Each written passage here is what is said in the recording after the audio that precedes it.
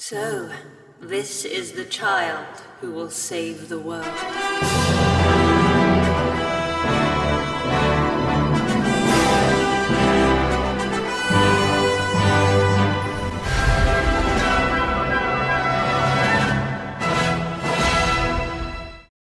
วัสดีครับท่านผู้ชมทั้งหลาย ตอนนี้นะครับเจ้าหนูโอลิเวอร์ก็กำลังจะไปที่สถานที่แห่งหนึ่งนะครับ ที่ที่เชื่อว่ามีสิ่งที่เป็นไม้คาถากายสิทธิ์ที่ชื่อว่ามอนสตาร์นะครับ แล้วก็เป็นสิ่งที่จำเป็นมากในการใช้เวทมนต์เพื่อกลับไปยังเวลาปกติของพวกโอลิเวอร์นะครับ เป็นการกลับสู่โลกในอนาคตนั่นเอง ในโลกในยุคปัจจุบันของโอลิเวอร์นะครับ ทีนี้การไปสถานที่แห่งนี้ครับมันต้องฝ่าสถานที่เป็นแบบว่าเทือกเขานะฮะและค่อนข้างที่จะลำบาก แล้วก็ซับซ้อนนิดนึงนะฮะแล้วก็มีศัตรูเดินโวกเวกโวยวายอยู่เต็มไปหมดเลยนะครับ ถ้าเดินแบบว่าไม่ระวังนี่ก็อาจจะเจอศัตรูเข้ามาสู้อย่างต่อเนื่องนะครับ ทีนี้มันจะมีเทือกเขาเป็นหุบเขาอยู่ช่วงหนึ่งที่มันขาดตอนอยู่นะครับ และเราเนี่ยจะต้องใช้เวทมนต์ที่โอลิเวอร์มีอยู่ เพื่อแก้ปัญหาครับ เวทมนต์นั้นชื่อว่าอะไรเรามาดูกันดีกว่า มันคือเวทมนต์สร้างสะพานนะครับที่ชื่อว่าบริดนั่นเองที่เราเคยใช้ตอนไปที่ภูเขาไฟนะฮะเป็นการทำให้หุบเขาทั้งสองฝั่งเนี่ยเชื่อมหากันนะครับเป็นสะพานขึ้นมา เราก็จะเดินข้ามฝั่งได้ แล้วก็ไปสู่สถานที่ที่เราต้องการได้นะครับ แน่นอนว่ามันมีศัตรูแวดล้อมอยู่เต็มไปหมดนะครับ แล้วก็เราก็ต้อง ใช้ความสามารถในการหลบหลีก และใครจะสู้เก็บเลเวลก็แล้วแต่นะครับ ในที่สุดถ้าเข้าไปด้านในสุดนะครับ ก็จะมาถึงสถานที่ที่ว่านี้มันคืออะไร แล้วโอลิเวอร์และผองเพื่อนจะพบกับอะไรบ้างนะ เรามาดูและเอาใจช่วยโอลิเวอร์ไปพร้อมๆ กันดีกว่าครับผม Tombstone Trail เส้นทางผีบอกชื่อก็บอกแล้วนะครับว่าสถานที่แห่งนี้ มันวิเวกวังเวงโบกเวกโวยวาย ทันใดนั้นเองครับก็มีเสียงกระซิบจากด้านหลัง เป็นเสียงของแกสคอนนะฮะแกสคอนกับเอ่อแมกกาซินนะครับซึ่งเป็นสองอะไรนะเป็นเจ้าชายทั้งคู่นะครับ แล้วทีเนี้ยพวกโอลิเวอร์ก็งงนะครับตามมาทำไมอะไรเงี้ยแกสคอนก็บอกว่า เอ้ย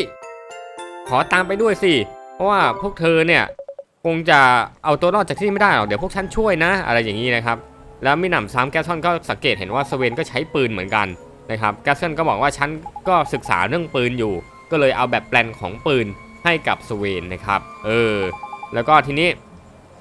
ก็แบบว่าแกสซอนก็บอกว่าพ่อของฉันเนี่ยไม่ค่อยสนใจฉันเลยนะฮะสนใจแต่แมคคาซินอย่างเดียวนะครับ อืมก็กำลังแบบคนโตเขาก็ไม่ค่อยชอบใจ พ่อเขาเท่าไหร่อะไรอย่างเงี้ยนะครับ เออ แล้วทีนี้ไล่ไปก็ไม่ไปนะครับ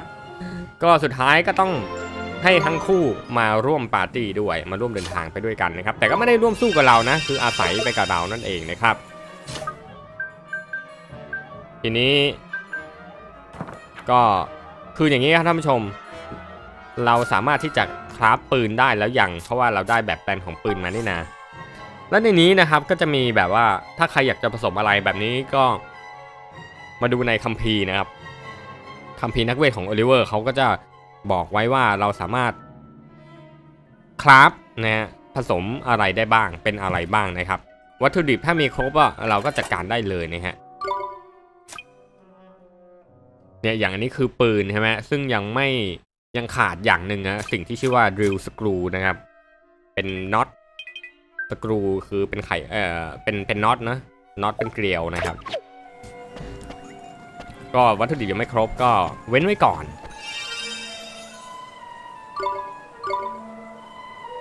เมื่อ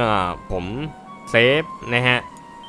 เพื่อความปลอดภัยก็ต้องเจอสถานที่ save ก็ save ไว้ก่อน save เสร็จแล้ว heal เสร็จแล้วเลือดเต็มแล้วเราก็ค่อยไปลุยกันต่อครับ อันนี้เป็นที่เก็บสัตว์เลี้ยงเนาะผมขอสลับสัตว์เลี้ยงเอาสัตว์เลี้ยงที่เต็มอยู่เนี่ย เก็บบ้างแล้วก็ไปเอาสัตว์เลี้ยงอื่นๆ มาเล่นบ้างนะครับ เป็นบางตัวนะครับ เอาตัวไหนดีนะอืมนกหัวขวานเก็บ เจ้าหุ่นยนต์เอาแรปบอทเก็บ ลองเอาเจ้าหุ่นยนต์แครงนี่มาสิ ส่วนอีกสองที่นะครับก็เก็บไว้เผื่อเราจะจับสัตว์ในสถานที่นี้มาได้นะครับ สลับเจ้าตัวนี้ออกตัวนี้ไม่ค่อยได้ใช้ ลองเอาเจ้าหุ่นยนต์นี้มา เก็บ level ดูครับเผื่อจะ work เปลี่ยนบรรยากาศซะบ้างนะครับ ไปลุยกันต่อกับสุสานคนเป็นเนี่ย โอ้โห เจอศัตรูจนได้ สังเกตนะครับ ก็ศัตรูในที่นี้ก็จะเป็นพวกวิญญาณ เป็นผี อะไรอย่างนี้ ถ้าใครไม่ชอบสถานที่แบบนี้ ก็คงจะต้องทำใจนิดนึงนะครัอื้อหือและช่วงเวลาแห่งนี้นะครับ เออเราสัมผัสได้ว่าวิญญาณร้ายมัน อาจจะต้องแพ้เวทมนต์โดนคาถาอะไรเนี่ยคาถา curse นะครับ curse นี่ก็จะทำให้เราเดินช้าลงนะครับเห็นไหมสังเกตมิสเตอร์ไมตี้เดินช้าเลยนะครับ ถือว่าศัตรูแบบว่าก็ไม่หมูนะครับอาจจะเป็นเพราะเลเวลผมน้อยด้วยผมก็ไม่ค่อยได้เก็บเลเวลตรงนี้มีสะพานที่พังอยู่นะครับมิสเตอร์ดริปปี้บอกเอ้ยออลลี่บอย จะรู้นี่นะว่าจะต้องใช้เวทอะไรอะก็มีเวทอันนี้นะครับ ที่เป็นเวทมนต์ซ่อมแซมนะครับ ให้ส่วนที่มันพังสึกหรอไปเนี่ยกลับคืนสภาพเดิมปิ้งคือผมต้องแบบว่า อะไรที่มันต้องใช้เวทมนต์แก้ปัญหาอะไรเงี้ย ผมก็ต้องแบบว่ามีอธิบายนะครับ ไม่งั้นเนี่ยท่านผู้ชมที่เล่นตามผมซึ่งมีหลายท่านเหมือนกันนะครับแอบกระซิบบอกว่าเล่นตามผมอยู่ ก็ จะได้แบบว่ารู้ว่าตรงนี้ต้องแก้ปัญหายังไง แล้วก็ไปต่อได้ยังไงนะครับ ถ้าข้ามตรงนี้ไปเนี่ย เดี๋ยวจะติดขัดตรงนี้ได้นะครับ โดยเฉพาะมีท่านผู้ชมท่านหนึ่งนะฮะบอกผมในแฟนเพจว่า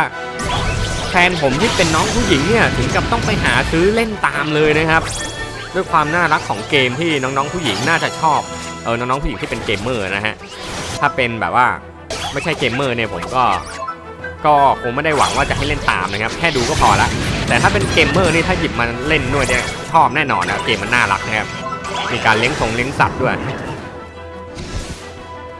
อ่าผ่านไปอีกหนึ่งชุดเลเวล เลเวลอัพเร็วมากนะครับสำหรับตัวที่เราปั้นใหม่สู้แค่ 2 ครั้งก็ level ไป 7 แล้วนะครับ อันนี้ก็เป็นข้อดีของการปั้นใหม่หรือว่าการอัปเกรดสัตว์เลี้ยงนะครับ แม้เลเวลจะเริ่มต้นที่ 1 แต่เราก็สามารถเก็บได้อย่างไม่ยากเย็นนะครับ เก็บเลเวลเลยฮะในสถานที่แห่งนี้นะครับก็คงจะต้องเป็นเขาวงกฏเดินวกวนวุ่นวายนะครับ แล้วก็โดนเข้าข้างหลังเลย ก็คงจะต้องให้เห็นการต่อสู้บ่อยนิดนึง แต่ก็คงไม่บ่อยทั้งหมดอะเดี๋ยวผมก็ตัดออกบ้างนะครับ เพื่อที่จะให้รู้ว่าศัตรูในที่นี้มันประมาณไหนนะครับ แล้วก็พอ เริ่มคุ้นเคยแล้ว ผมก็จะเริ่มตัดออกละนะครับ จะไม่ให้มีเลยก็ไม่ได้นะครับ เดี๋ยวท่านผู้ชมที่ดูอยู่แล้วก็ไม่ได้เล่นเนี่ย ก็จะไม่รู้ว่า เอ้ยสถานที่แห่งนี้มันอารมณ์ประมาณไหนอะไรอย่างเงี้ยนะฮะเมื่อกี้มีเสียง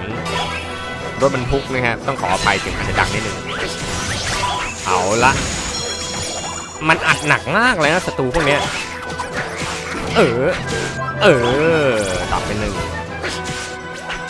ไอ้นี่ก็ตัวแข็งมากเลย จริงๆแล้วมันคงจะแพ้เวทมนต์นะฮะ แต่โดนรุมก็ไม่รอด level up level up กันเป็นแถวแถวหลบเจ้าวิญญาณร้ายจะหลบเจ้าวิญญาณร้ายซะหน่อยซอมบี้เนี่ย แต่ก็เจอจนได้ No นะครับ slacking, you lot. Here goes! ท่าที่ผมจะใช้ประจำของมิสเตอร์ไมตี้คือท่านี้ครับคัตลูสเนี่ยไม่ใช่ว่าศัตรูมันแพ้ท่านี้หรืออะไรนะ มันโดนทุกตัวแน่นอนไงครับแต่ถ้าเป็นท่าอื่นๆเนี่ยบางทีอาจจะโดนหลายตัวจริงๆแต่ก็ต้องให้อยู่ในรัศมีอะไรเงี้ยแต่ว่าท่านี้โดนทุกตัวแน่นอนโอ้โหยโอ้ยถึงกระจุกเลยทีเดียว ดีนะสเวน heal ให้ใช้สกิล heal ให้เฮ้ย ซอมบี้สามารถเอาเป็นพวกได้ด้วย เฮ้ยกล่อมซอมบี้ก่อนเตรงเตรงเตรงเตรงเตรงเตรงเตรงเตรงได้มาเป็นพวกแล้วซอมบี้ซอมโบเขาเรียกว่าซอมโบนะครับเกมนี้เขาเรียกซอมโบคือไอเกมเนี้ยเขาจะเล่นคำนะครับ เรียกศัตรูแบบว่า ชื่อเพี้ยนๆนิดนึงเพื่อให้แบบว่าน่ารักน่ารักนะครับซอมบี้ก็เป็นซอมโบเอาแรปบอทอะไรนะ แรปบิดที่เป็นกระต่ายพอกระต่ายมาเป็นหุ่นก็เรียกแรปบอท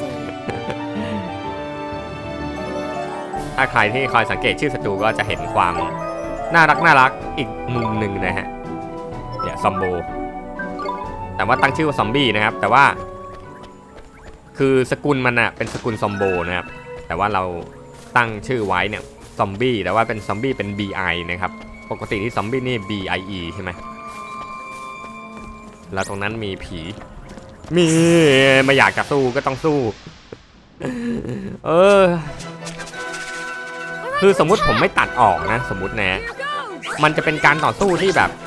คลิปเป็นชั่วโมงชั่วโมงก็ไม่จบสักทีอะเพราะการต่อสู้ในแต่ละดันเจียนเนี่ยถ้าใครที่เล่นตามผมจะรู้ว่าศัตรูเยอะมากนะครับ แล้วหลาย ๆ ตัวเราไม่สามารถหลีกเลี่ยงได้นะอย่างเนี้ยมันขวางทางเนี้ยเราหลีกเลี่ยงไม่ได้นะครับ เราก็ต้องสู้ ซึ่งมันเป็นโอ้โหเกือบตาย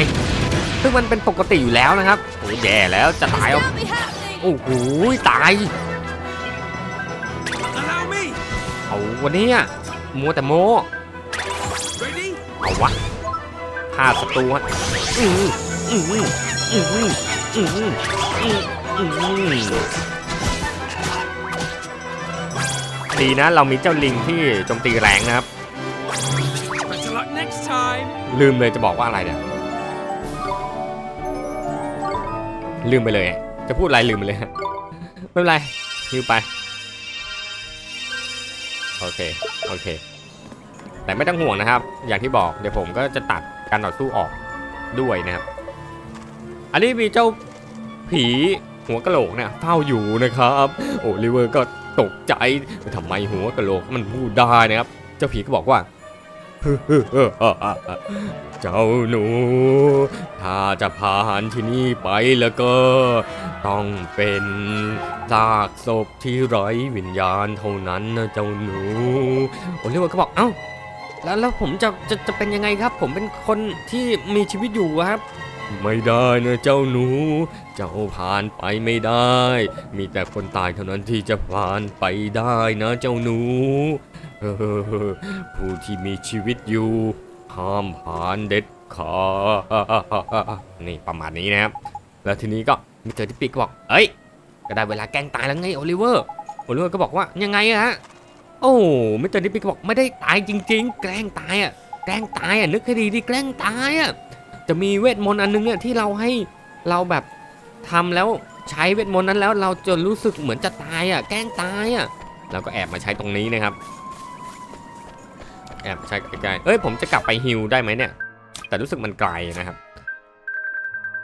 กลับไป heal ที่จุด save เวทมนต์แกล้งตายนี่คือเอ่อเฮ้ยนี่อันนี้ Arrow of Light นี่เป็นเวทมนต์แห่งแสงที่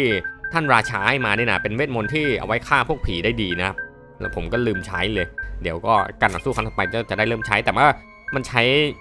อันนี้ตั้ง 12 นะครับ MP นี่ไง Poison Apple นะครับ เป็นแอปเปิลพิษอ้าวทำไมไม่ได้อะ คำอธิบายบอกว่ามันจะทำให้เราอยู่ในสถานะตายสักครู่หนึ่งนะครับเป็นแอปเปิลพิษนะฮะเสกแอปเปิลพิษออกมาสงสัยเราต้องมาคุยกับเจ้านี้กันอ๋อเดี๋ยวเจ้านี้จะไม่เห็นว่าเราตายแล้วนะครับปึ๊บนี่ poison apple apple พิษอือ ตายเสร็จแล้ว มิสเตอร์สัปเหร่อหัวกะโหลกก็จะแบกโอลิเวอร์ไปข้างใน จากนั้นเอสเธอร์ก็ปลุกโอลิเวอร์นะครับแหมตอนนี้สถานะก็คือแบบว่า คล้ายคนตายแล้วนะฮะทีนี้มิสเตอร์สัปเหร่อก็บอกว่าตื่นแล้วหรือ แล้วผมจะทำเสียงอย่างนี้ก็เหนื่อยเหมือนกันนะครับ ก็มิสเตอร์สัปเหร่อก็คือบอกว่า เอ้ย ในเมื่อเข้ามาแล้วนะครับ ก็จะให้กุญแจแจแจแจแจแจแจเออนี่เป็นกุญแจ Skeleton Key ซึ่งเอาไว้ เขาบอกว่าเอาไว้เปิดอะไรนะ เอาไว้เปิดเอ่อประตูไปคาสิโนนะครับเขาว่าอย่างนั้นนะฮะเห็นไหมแต่ตอนเนี้ยคือยังเข้าไม่ได้นะครับ เพราะว่าไอ้คาสิโนที่ว่าเนี่ยกำลังก่อสร้างอยู่นะครับ ยังไม่เสร็จนะครับ ก็จะเสร็จในอนาคต อันนี้ ผมเดาว่านะครับถ้าเรากลับไปในยุคปัจจุบันของโอลิเวอร์ก็คืออนาคตของณตอนนี้นะครับก็น่าจะมีคาสิโนที่สร้างเสร็จแล้วหรือเปล่า ผมก็ไม่เคยไปเอ่อไม่เคยไปเอ่อไม่เคยไปนะครับเฮ้ยลิ้นพันกัน แล้วทีนี้นะครับก็เอ่อถ้าเกิดว่ามีคาสิโนเนี่ยมันก็คงจะเป็นสถานที่ที่เก็บตังค์ได้หรือเปล่า อันนี้ผมก็ไม่รู้นะครับและสถานที่แห่งนี้นะครับก็เป็นสุสานเห็นไหมมีหลุมศพเต็มไปหมดเลยครับ และแน่นอนว่ามันก็ต้องมีปริศนาอะไรต่างๆ ให้แก้มากมายเอาเอาโดนศัตรูเข้าข้างหลังอีกแล้ว เจ้าซอมโบนะครับ เจ้าริก You guys! แล้วก็เจ้าอะไรเนี่ยโบกี้อะไรอะเป็นคล้ายวิญญาณนะครับมิสเตอร์ไมตี้เอ้ยเรียบร้อย รถไม่เยอะนะครับแต่โดนทุกตัว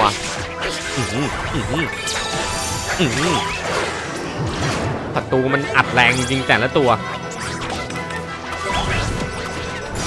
คัดรู้อีกทีปั๊บปั๊บปั๊บปั๊บปั๊บปั๊บอืมแปดสิบสองสำหรับเจ้าซอมโบ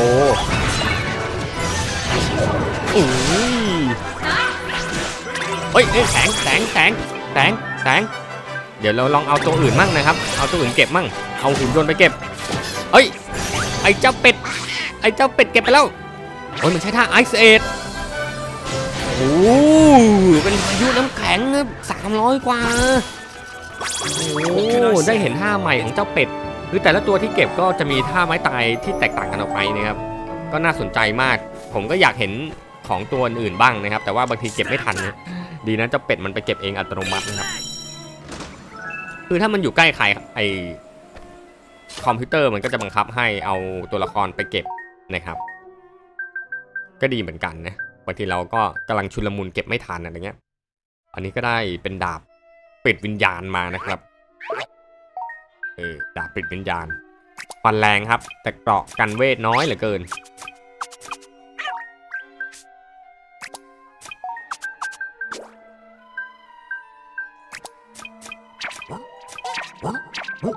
คอยสลับอาวุธที่ดีที่สุดให้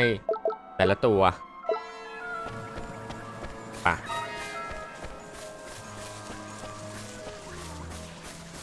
หลุมศพนานาชนิด มีทางแยกพลุงพลัง เห็นไหมครับ ท่านผู้ชมจะเห็นเลยเห็นชัดเลยว่า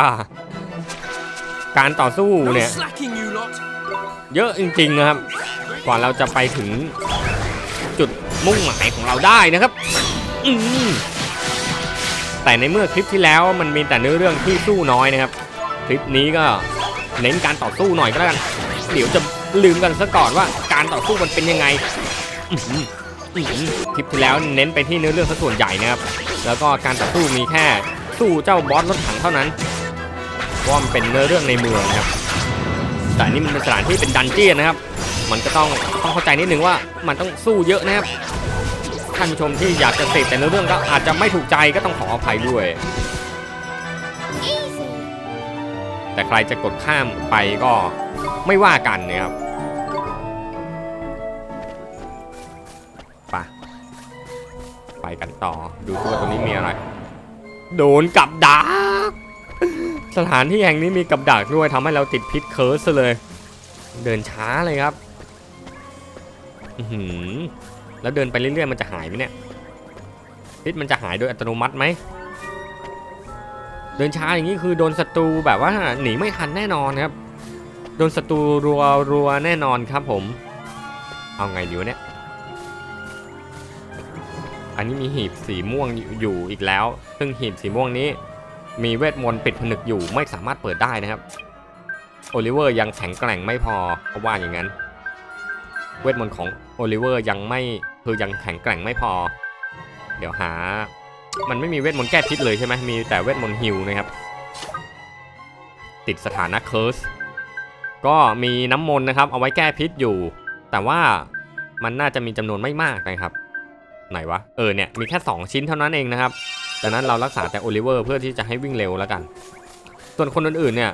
ไม่รู้ว่าอยู่เฉยๆนานๆแล้วมันจะหายหรือเปล่านะครับ หรือว่าไปที่จุดเซฟแล้วถึงจะหายก็ไม่รู้ ไปถึงจุดเซฟมันหายอยู่แล้วแหละ แต่ว่าถ้าวิ่งเฉยๆไม่รู้จะหายหรือเปล่าตึงตึงตึงตึงตึงตึงไปทางตรอกแคบแคบๆฟังเพลงก็วิเวกวงเวงวังเวงพอเดินมาถึงกลางทางครึ่งทางนะครับ ก็มีกระท่อมน้อยที่แสนวังเวงอยู่หนึ่งหลังนะครับทีนี้มิสเตอร์ดริปปี้ก็ บอกให้พักก่อนเพราะเราเดินทางมาแสนเหน็ดเหนื่อยนะครับ แล้วระหว่างที่พักนั่นเอง ก็มีเหตุการณ์นะครับ ซึ่งกำลังแกสคอนกำลังสอนมัสคาซินให้ใช้เวทมนต์ซี่นะครับมัสคาซินก็พยายามใช้ ปรากฏว่ามัสคาซินก็ใช้ไม่ได้นะครับ แล้วก็ผมขอโทษนะครับ แบบว่าน้อยใจสำนึกผิดอะไรเงี้ยกัสคอนเขาบอกมัสคาซิน เธอโกหกใช่ไหม นี่เธอแกล้งใช่ไหม เธอแกล้งใช้เวทมนต์ไม่ได้ใช่ไหม มันกระสินก็บอกไม่ไม่ได้แกล้งนะครับ ผมใช้เวทมนต์ไม่ได้จริงๆกาซอนก็บอกไม่ต้องเลยพี่ดูออกนะ ว่าจริง ๆ แล้วอะเธอใช้เวทมนต์ได้ แต่เธอแกล้ง แล้วทีนี้เอเธอร์ก็บอกทำไมต้องดุน้องอย่างนั้นด้วยล่ะกาซอนก็บอกจริง ๆ นะ ฉันดูออกว่ามัสกาซินน่ะเขาแกล้งใช้เวทมนต์ไม่ได้ ซึ่งจริงๆแล้วน่าจะใช้ได้นะครับเนี่ยทีเนี้ย แกสคอนก็บอกว่าเอสเธอร์ไม่รู้อะไรกันอย่ามายุ่งดีกว่าเนี่ยเออแน่นไหมแกสคอนก็บอกว่า ไม่รู้เหมือนกันว่าทำไมเขาต้องแกล้งทำเป็นใช้เวทมนต์ไม่ได้โอ้โหหรือว่าเห็นพ่อเสด็จพ่อดุฉันเนี่ยมีความสุขนักหรือฉันอุตส่าห์พร่ำสอนแล้วก็ใช้ไม่ได้สักทีทเวนก็บอกว่ามัสคซินน่ะไม่ชอบหรอกนะ ที่จะเห็นเสด็จพ่อดุด่าพี่ชายของเขาน่ะแต่ว่า สิ่งที่เขาไม่ชอบยิ่งกว่า คือเขารู้ว่าถ้าเขาใช้เวทมนต์แล้วเนี่ย ตัวพี่ชายของเขาอาจจะ ไม่ได้อยู่กับเขาแล้วนะครับ เพราะว่าตัวเขาเองมัตคาซินเองเนี่ยก็จะได้เป็นครองราชใช่ไหมก็ไม่รู้ว่าพี่ชายของเขาจะไปทำหน้าที่อะไรแล้วอยู่ที่ไหนนะครับ นั่นคือสิ่งที่มัตคาซินไม่ต้องการให้เป็นนะครับ เขาก็เลยแกล้งที่จะทำให้เวทมนต์แบบว่าใช้เวทมนต์ไม่เก่งนะครับทีนี้กัสคอนก็บอกเอ้าแล้วนายรู้ได้ไงสเวนสเวนก็บอก ยังเออในสถานการณ์แบบนี้เนี่ย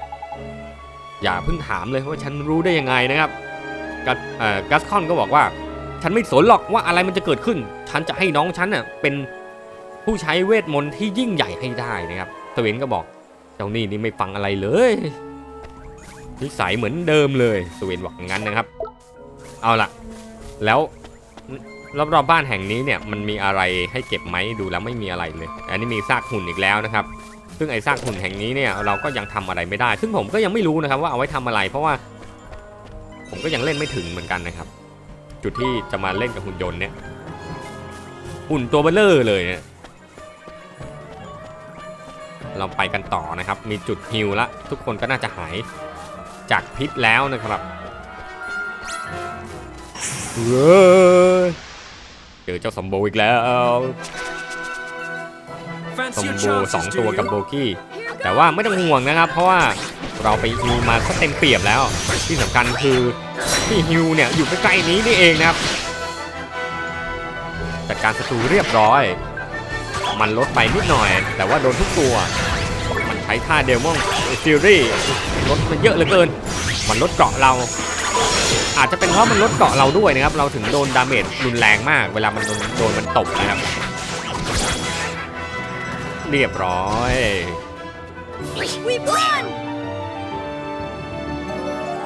level up กัน เออเอสเธอร์ก็ level up แล้ว ได้ท่าใหม่ Cacophony คืออะไรเอสเธอร์ขอมาดูเวทมนต์ของเอสเธอร์หน่อยนะครับว่าคืออะไรเวทมนต์ใหม่ของเธอ Cacophony อะไร Cacophony เอ่ออะไรวะ เป็นป่วนแก้วหูศัตรูนะครับ ก็ไม่รู้ว่า เพื่ออะไร ตรงนี้นะครับพอเข้ามาข้างในแล้วเนี่ยรู้สึกว่ามิสเตอร์ดริปปี้บอกว่าเอ้ยฉันคิดไปเองหรือเปล่าว่าทำไมมันมืดขึ้นมืดขึ้น มืดจนมองอะไรไม่เห็นนะครับมิสเตอร์ดริปปี้ก็บอกเอ้ยทำมืดขนาดนี้คงไม่ได้การละลองใช้เวทมนต์ที่ทำให้มันมีแสงสว่างสิเวทมนต์ที่ต้องใช้ในที่มืด เวทมนต์ไหนกันนะ มันคือเวทมนต์ที่ชื่อว่าเมจิกแลมตะเกียงเวทมนต์เป็นไงครับ ทำให้ตัวโอลิเวอร์เปล่งแสงเหมือนมีตะเกียงเลยครับ แล้วทีนี้หัวกะโหลกคนนี้นะครับ ก็บอกว่าพวกเจ้าอะไปต่อไม่ได้หรอกนะ เพราะข้างในนี้มันเป็นทางตัน ยกเว้นแต่ว่าถ้าเจ้าสามารถแก้ปริศนาของเทียนไขนี้ได้ ทางตันนั้นอาจจะเปิดก็ได้นะซึ่งตรงฝาผนังทั้งหลายเนี่ยก็จะมีเทียนไขเป็นระยะระยะนะครับมิสเตอร์ดริปปี้ก็บอกทำไมไม่ลองแบบว่า จุดไฟดูล่ะ อันนี้ผมใช้เวทมนต์ Fireball นะครับมิสเตอร์ดริปปี้ก็บอกจะบ้าเหรอ ใช้เวทมนต์ไฟเนี่ยเทียนมันก็ละลายหมดสิ ลองใช้เวทมนต์อื่น ที่สามารถทำให้เจ้าเทียนไขเนี่ยเปล่งแสงได้โดยไม่ละลายสินะครับ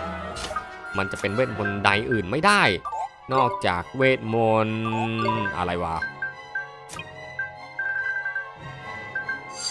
เมจิกแลมเหมือนเดิม เออ เมจิกแลมเหมือนเดิม เห็นไหมครับ เห็นไหม คือเราก็ต้องมาจุดอย่างเงี้ยนะครับ ทุกทุกทุกอันนะครับ ทุก ๆ เทียนที่มันอยู่ที่ฝาผนังทุก ๆ อันนะครับที่เอ่อเพื่อที่จะเปิดล็อก โดนกับดักอีกละเอ้ยชีวิตเฮ้ยมันเหลือ 2 อัน เหลืออันเดียว ก็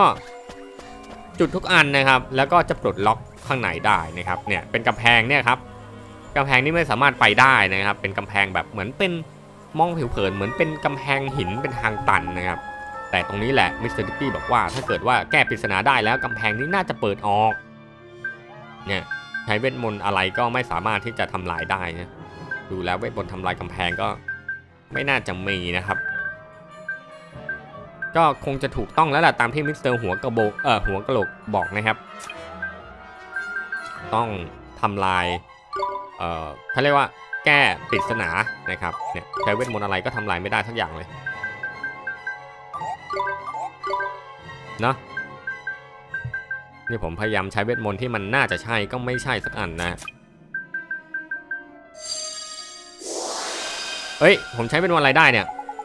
อ๋อ เวทมนต์ลอยฟ้านะครับ มิสเตอร์ดิปปี้บอกเวทมนต์ลอยฟ้าเนี่ยก็ทำให้เราสถานะเหมือนจะบินได้ช่วงขณะหนึ่งก็จะทำให้เรารอดจากกับดักนะครับ อ๋อ ถ้าผมใช้ตั้งแต่แรกผมก็จะไม่โดนกับดักสินะ อันนี้จำได้ไหมครับ เจ้านกพิราบให้มาเวทมนต์เนี้ย เออเออเออน่ารักดีนะเวทมนต์นี้ ตรงนี้นะครับ มันมีสัตว์เลี้ยงของเราตัวหนึ่งอะเลเวลอัปเกรดได้แล้วคือเจ้าหุ่นยนต์ที่ผมเอามานะครับ ดูซิว่าร่างสองมันเนี่ยหน้าตาจะเป็นยังไง นี่มิสเตอร์คลิงกี้อะไรคลิงกี้แคลง Mark Two โอ้ชื่อเท่มาก เป็นไง มิสเตอร์คลิงกี้แคลง Mark Twoเท่ไหมครับท่านผู้ชมอะไปกันต่อ ก็จุดมุ่งหมายของเรานะครับก็คือการจุดไฟอะเขาวิ่งไปสักระยะหนึ่งเวทมนต์ของเราก็จะหมดสภาพนะครับ เราก็ต้องใช้ต่อ เช่นเดียวกับเวทมนต์ล่องลอยนะครับ อันนี้ผมจะกลับไปเซฟว่ะน่วมเหลือเกิน โดนเข้าข้างหลังอีก โอ้ชีวิต ศัตรูเยอะเหลือ We เกิน can น่ do วมนะครับ this. โดนสู้ซะน่วมเลยโอ้ยโอลิเวอร์ก็จะตายแล้วเออมาถึงโดนมันใส่ตายเลยอะ Step aside. แย่แล้วสิเอาโอ้ย This isn't วิ่ง good. หนีก่อนโอ้โหมันไม่ให้หนีด้วยตายตายตายตายตายเอาเอสเธอร์เอสเธอร์เอสเธอร์ Help. เอสเอา Actually, we just เอส leave. เธอร์กระดับแล้วเอาหนีไม่พ้นอีกเอาตายตายตายตายตายตายตายเออ วิ่งหนีโอ้ยหลือสเวนเลือดถึง36 เกือบจะเกมโอเวอร์เอ้ยโอ้ยขอกลับไปฮิวก่อนกลับไปฮิวก่อนโอ้ยแย่แล้วแย่แล้ว ถ้าไม่มีเสาฮิวนี้ก็แย่เหมือนกันนะจะเล่นลำบากกว่านี้เยอะเลยครับฮิวเสร็จแล้วเออผมสู้กับพวกโครงกระดูกมาเนี่ย บางทีก็ได้โครงกระดูกเนี่ย โครงกระดูกที่ผมจำได้ว่ามันน่าจะเกี่ยวกับการคราฟของอะไรบางอย่างนะครับ นี่โบนเมลเนี่ยกราะโครงกระดูกนะครับ ใช้หนึ่งก็คือใช้กระดิ่งหนึ่งอันนะครับ แล้วก็ใช้โครงกระดูกอะไรเนี่ยโครงกระดูกสองอันนะครับ มาดูวัตถุดิบกันซิว่า ผมมีครบแล้วหรือเปล่า วัตถุดิบ Brass Bell มิลานี่กระดิ่ง กระดิ่งทองเหลือง หรืออะไรก็ไม่รู้นะครับ เป็นกระดิ่งอะระฆังอะกับกระดูก 2 อันนะครับ Sturdy Shinbone Shinbo อะไรเนี่ยสองอัน แล้วก็สั่งเจ้าอาลีบาบาเนี่ยผสมเลยนะครับ การผสมของเนี่ยครับก็คือถึงแม้เราจะไม่มีแบบแปลนนะครับ ไม่มีพิมพ์เขียวนะครับ ก็สามารถดูในคัมภีร์ของโอลิเวอร์ได้ว่าการผสมแต่ละอย่างเนี่ยมันใช้ส่วนผสมอะไรบ้าง แล้วก็ถ้าสมมติส่วนผสมของเรามีครบเนี่ย เราก็สามารถที่จะผสม มันออกมาได้นะครับ โดยไม่จำเป็นต้องรอพิมพ์เขียวหรือแบบแปลนอันนี้ก็คือเป็นความน่ารักของระบบเกมเกมนี้นะครับ ก็ถ้าใครที่ชอบผสมนะครับ จะแบบเพลินมากในการผสมจะผสมได้แม้กระทั่งพวกอาหารนะครับเอ่อชุดเกราะอาวุธแทบทุกอย่างในเกมครับผสมได้หมดนะครับ ดูตามคัมภีร์ได้เลยแล้ว แต่ละอย่างนี่เป็นของดีทั้งนั้น เจ้าโบนเมลเนี่ยก็ถือว่าเป็นของที่ดีเหมือนกัน แต่ว่าไม่มีใครใส่ได้เลยนะครับ ชุดเกราะก็ไม่รู้ว่าชุดเกราะนี่ก็ต้องเป็นสัตว์เลี้ยงประเภทไหนหรือว่าเป็นตัวละครประเภทไหนนะครับคือสร้างมาแล้วใช้ไม่ได้นั่นเองนะไม่มีใครใส่เกราะเลย เออเจ้าซอมโบหรือเปล่าเนี่ยเนี่ยซอมโบก็ใส่ไม่ได้นะครับ เกราะกระดูก ซึ่งซอมโบเนี่ยน่าจะใกล้เคียงเรื่องกับกระดูกที่สุด แต่ก็ไม่ใช่นะครับ เราหิวเลือดเต็มแล้วเราไปกันเถอะ ไปแอบหลบหลบหลบกระโดดไว้ก่อนนะครับ ทีนี้พอเราจุดเทียนหมดแล้วนะครับไอ้เจ้ากำแพงเนี่ยมันก็จะเปิดแล้วเราก็จะสามารถไปต่อได้นะครับ แต่ทางที่ดีที่สุดถ้าอยากจะหลบกับดักนะครับ เราก็ลอยไปหลบหนีหนีศัตรูแล้วด้านในสุดก็จะเจอสถานที่แห่งหนึ่งเป็นอย่างนี้นะครับ เป็นดวงจันทร์ดวงเบลเลอร์สวยงามเลย แล้วก็มองซ้ายมองขวาเนี่ยเป็นปักทองนะครับ เหมือนเทศกาลฮาโลวีนนะครับ เป็นเหมือนพัมกินแจ็คพอเข้าไปข้างในก็เกิดเหตุการณ์บางอย่างครับ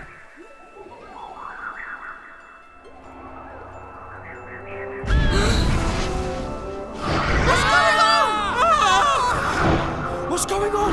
คันเดลาบลาคาดาบลาผีร้ายผู้เฝ้าไม้กายสิทธิ์ That flippin' great candle must be guardian monster! Well then, I guess we're gonna have to prove we've got what it takes to get it. Everybody ready? เอาละฮะ มันคือบอสนั่นเอง บอสคาคาราบลาบลาบลาอะไรไม่รู้ครับ ชื่อยาวๆเอ้ย ใครอยากจะอ่านชื่อของบอสก็อยู่ขวาบนนะครับ คาเดลบลาคาดาบลาเนี่ย คาเดลลาบลาคาเอ้ยอะไรก็ไม่รู้มาสู้กันดีกว่า มันบอสตัวนี้ตัวเบ้อเร่อเลย แล้วก็เป็น เป็นอื้อหือเป็นสถานะ มีมีลูกไฟล้อมรอบเข้าใกล้มันไม่ได้เฮ้ยมันใช้ท่า Boo ท่าอะไรวะท่า Boo ท่าคำรามนะครับอือหือเออโอ้โหคนละ30 40นี่ขนาดเรากันแล้วนะเนี่ยเอาละเรามันเป็นผีก็ต้องใช้ Arrow of Light 31 เฮ้ย 91 เฮ้ย อะไรอะท่า w a g g o Lantern เออโอ้ยออโอ้โห 87 ใครโดน 87วะสเวนเหรอ งานนี้ โอ้ยติดสถานะ Curse กันด้วย โอ้ยโอ้ยมันใช้ท่าสนับเอาอีกแล้วท่าอะไรวะ สกิลเยอะจริงๆบอสตัวนี้แล้วก็มันชาร์จชาร์จไม่นานด้วยนะครับสกิลแต่ละอย่างอุ้ยติดสถานะ Blind Blind คือตาบอดนะครับโจมตีไม่โดน ต้องใช้โอลิเวอร์อย่างเดียวแล้วครับ ตอนนี้ Arrow of Light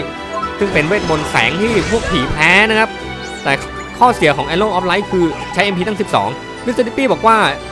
โอลิบอยศัตรูที่เป็นเอ่อเป็นเผ่าความมืดเนี่ย เป็นพวกผีพวกความมืดเนี่ย มันต้องแพ้แสงแน่นอนเลย รู้แล้วใช่ไหมว่าต้องใช้เวทมนต์อะไรอ่ารู้แล้วใช้อยู่มิสเตอร์ดิปปี้แต่ขอบคุณมากนะครับ มันมาอีกแล้วท่า Boo กันเร็วทันไหมเนี่ยเออเออโอ้ยกันทันอยู่ โอ้ย Arrow of Light รัวๆแต่มันใช้ตั้ง 12นี่สิ เออเคาน์เตอร์มันทันพอดีทุกคนลุยทุกคนลุย Arrow of Light 85เออเลือดมันลดลงไปประมาณ 40%แล้ว เวทมนต์จะหมดแล้วดิ MP จะหมดแล้ว เฮ้ย ลูกแก้วสีทอง ลูกแก้วสีทอง ลูกแก้วสีทอง ลูกแก้วสีทอง เอาใครไปเก็บดีวะ เจ้าเป็ดเหรอ เออเจ้าเป็ดอยู่ใกล้ที่สุดอะ Give it my all! เฮ้ยมีตั้งสามลูกตั้งสามลูก เอาเอสเธอร์ไปเก็บดิเอสเธอร์ท่าของเอสเธอร์คืออะไรโอ้ยมิสเตอร์ไมตี้เก็บไปก่อนท่าฟันดาบร้อยแผลเยืออืมสามร้อยสิบเจ็ดเอ้ยอีกลูกนึง Crescendo Crescendo เป็นท่าเสียงเพลงที่ไพเราะของเอสเธอร์ทำอะไรได้วะฮิวเหรอะฮิวเลือดของพวกเราเต็มหรือเปล่านะครับเฮ้ยไม่ใช่ มันเป็นสถานะ buff เฮ้ยเอ้ยมันใช้เวทมนต์มันใช้เวทมนต์ Jack-o'-lantern เออเออเออโอ้โหเจ็บจริงๆท่านี้โดยเฉพาะสเวนนะครับ โดนหนักเลยอุ้ยมันใช้ท่า Boo อีกแล้ว กันทันปะวะ อืออืออืออือโอ้ยอย่างการทันอยู่ อ๋อ มันเป็น ท่า buff เพิ่มทุกอย่างนะครับ เป็น ท่า buff เพิ่มทุกอย่างของเอสเธอร์ โอ้โห โดนมันโจมตีหนักจริงขอบคุณนะที่ฮิวให้ทุกคนโดนโจมตีหนักจริง สังเกตทางขวาบนของชื่อโอลิเวอร์นะครับ จะมีสถานะขึ้นทุกอย่าง เป็น ท่าสารพัด buff ของเอสเธอร์นะครับ และน่าจะได้ทุกคน เอ้ย มันใช้ท่า Boo อีกแล้ว เออเออเออโอ้โหยี่สิบสามสิบโอ้ยติดสถานะ Curse เฮ้ยสีทองสีทองสีทองเออไปเก็บไม่ทันเอาไงวะเนี่ยเอสเธอร์เอสเธอร์ไปเก็บไปเก็บไปเก็บยังดีกว่าเก็บไม่ทันนะครับ ถึงแม้จะเป็น ท่า buff Crescendo เสียงพิณที่ไพเราะที่สุดในจักรวาล เปล่งแสงออร่าออกมาจนแสงจากสวรรค์สารพัด buff ให้ทุกคน โอ้ย โอ้ย โอลิเวอร์ก็ติดสถานะ curse ไอตัวนี้ก็ไม่มีเวทมนต์แสงเลยอะ ไอนี่ก็มีเวทมนต์ Thunder Spark เป็นเวทมนต์สายฟ้าลด70 กว่า มันก็ยังดีอะ แต่ว่าอยากให้ดีที่สุดคงต้องเป็นเวทมนต์ของโอลิเวอร์ เอ้า MP หมดแล้ว เอ้ย มันใช้ Whack-o'-Lantern อีกแล้วเออเออโอ้โห91 สเวน โอ้ย นี่ขนาดกันทันหรือเปล่าเนี่ย น่าจะกันทันแล้วนะครับ เดี๋ยวเดี๋ยวเดี๋ยวโอ้ยเพิ่ม MP ก่อน บอสมันจะตายแล้วบอสมันเหลือเลือดประมาณ 30%เพิ่ม MP โอลิเวอร์เฮ้ย มันใช้ท่าบู ใช้ท่าบู กันงอน โดนกันไหมเนี่ยอืออืออืออือโอ้เอสเตอร์กระเด็นเลยเดียวโอ้ยท่า Boo นี่เหมือนจะเป็นท่าแบบให้เราติดพิษนะครับรถอาจจะไม่ลดเยอะเท่าไหร่โอ้ไอผีตะเกียงไอผีตะเกียง Arrow of Light เออธนูแห่งแสงท่าธนูแห่งแสงท่าสนับเอามันใช้ท่าสนับเอาท่าอะไรวะเออเป็นท่า ติดพิษโอ้เอสเธอร์ติดสารพัดพิษแล้วตอนนี้ เดี๋ยวเดี๋ยวเดี๋ยวเดี๋ยว MP มันหมดอะต้องเติม MP ก่อน เติม MP ก็เติมได้แค่ทีละสิบไอ MP 30มันมีแค่ชิ้นเดียวนะ ผมงกนะครับ ผมไม่ใช้ เฮ้ย มันใช้ท่าบุยแล้วกันไว้อือเออเออโอ้โหไอท่านี้ไม่เท่าไหร่ไอท่า lantern โอ๊ยติด curse โอ้ย เดินหนีไม่ได้ติด curse เดินช้า โอ้ยเอาขอแก้ curse หน่อยแก้พิษแก้พิษเหลืออันเดียวด้วย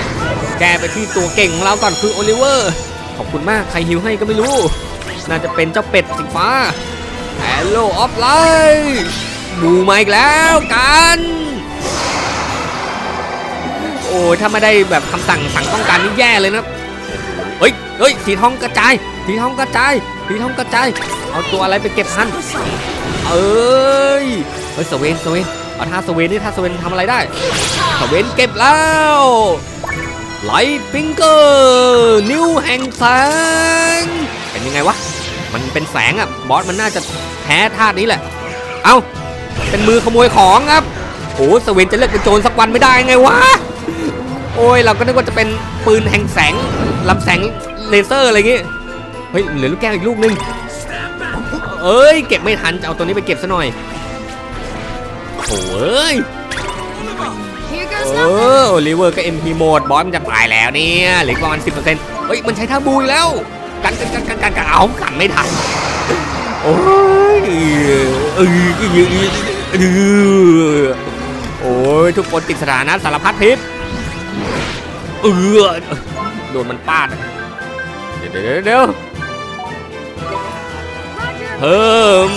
MP โดนติดเฮิร์ตมันใช้ lantern แล้ว Whack-o'-Lantern โอ้โหแปดสิบเก้าเอ้ยใจเย็นใจเย็นโอ้ยโดนทุบ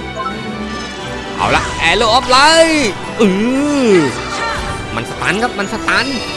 ทุกคนมีอะไรจะโจมตีมันมั่งมิสเตอร์ไมตี้ ปานมันอือสามแปดเก้าวะสามสองสามสองสามสามสามแปดสามเอ็ดอีกนิดอีกนิดสามเจ็ดสามสิบหกเรียบร้อยโอ้ยป่วนจริงๆ เจ้าบอสตะเกียงเนี่ย Easy. โอ้ย lantern แปลว่าตะเกียงนะเมื่อกี้ที่มันใช้ท่า Whack-o'-Lantern คือแบบตะเกียงไฟอะไรเงี้ยโอ้ยเสียงแหบเสียงแห้งเลเวลกระฉูดกันเป็นตามๆกันนะครับ เกือบแย่เหมือนกันเฮ้ยแต่เมื่อกี้เมื่อกี้สเวนใช้ท่าไม้ตายขโมยแล้วก็ขโมยของบอสได้ต้องเป็นของดีแน่ๆเลยครับดูว่าเฮ้ย Crikey! Back for more, is it? It doesn't know when to give up! Look out! Hey? Huh? Huh?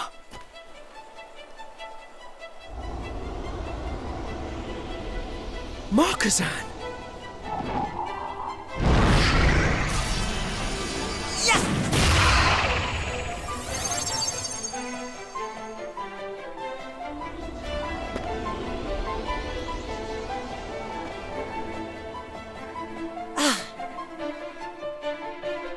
จริงๆ อย่างที่แกสคอนพูดไว้ด้วยครับ จริงๆ แล้วเนี่ย ตัวมาร์คัสซินเนี่ยสามารถใช้เวทมนต์ได้นะครับ แล้วก็ในยามขับขันเขาก็ยอมที่จะใช้เวทมนต์ออกมานะครับ แล้วก็สิ่งนี้เองนะครับที่ ทำให้ตัวตัวตัวตัวแกสคอนเนี่ยเรารู้ว่าตัวแกสคอนเนี่ยมีพรสวรรค์ที่แท้จริงนะครับ ตอนนี้เราก็มาถึงแท่นที่ เอ่อเอามอนสตาร์แล้วนะครับ เดี๋ยวดูของที่เราขโมยมาจากบอสนั่นคืออะไร โอ้โห เป็นชุดที่ดีมากจริง ๆ ด้วยครับท่านผู้ชม โอ้ noble เป็น เป็นชุดแห่งเวทนะครับ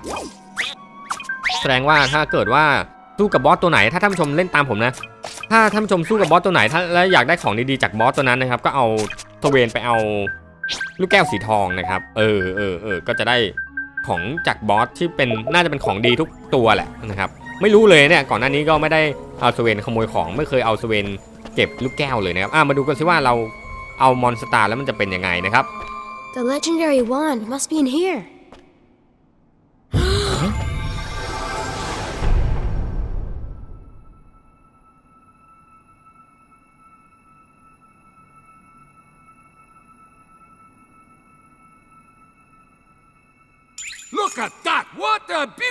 Beauty! It may be older than my mum, but it's still got a bucket load of oomph. So this is the legendary wand. Mornstar. Ah! You have done well. Who are you? I am one who guides the fate of this world. And yes, it was I who summoned you here to this time. Huh? I had scant choice but to bring you here, for in your time, Mornstar has been mm, mislaid. For my boldness, you must accept my apologies. Know that countless trials lie ahead of you still. Steel yourselves and fix your sights upon your goal. Until the day when you finally arrive, I shall be waiting. He's gone.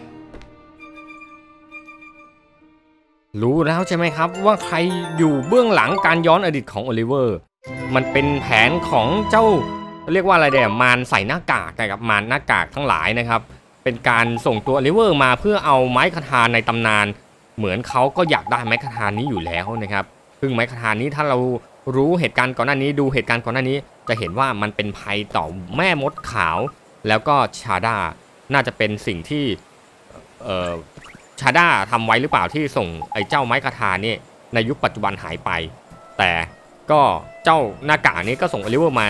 ในอดีตในช่วงที่ไม้คาทานี้ยังอยู่ เหตุการณ์จะเป็นยังไงต่อไป พบกันที่ตอนหน้าครับผม